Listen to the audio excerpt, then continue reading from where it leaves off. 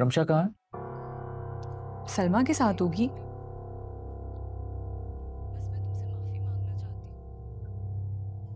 अली से कभी तुम भी देख लिया करो उसे। मैं ही संभालती हूँ उसको हर वक्त। हाँ बिल्कुल ठीक है रही हो। सिर्फ़ रमशा को ही देखती हो। वरना माशाल्लाह से घर के कामों से तो तुम बिल्कुल आज़ाद हो। सीरियसली तुम ना कोई मौका हाथ से ना जाने देना मुझे ताना देने का। यू नो व्हाट कभी कभी मुझे लगता है कि मामा से ज़्यादा तुम सास हो मेरी।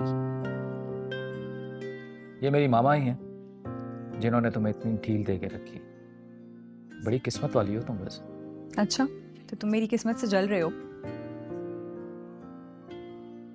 मैं क्यों जलूँगा तुम्हारी किस्मत से? इनफैक्ट मुझे लगता है कि मेरे बाद ही तुम्हारी किस्मत और अच्छी हुई जी जी। अच्छा वो मामा कह रही थी कि शादी की तैयारियों के लिए बहुत कम दिन रह गए हैं और काम बहुत ज़्यादा है तो इसलिए मैं एक वीक के लिए जाऊँगी उनकी तरफ़। आर यू सीरियस तुम एक वीक के लिए वहाँ जाओगी? इसमें इतनी हैरत की क्या बात है?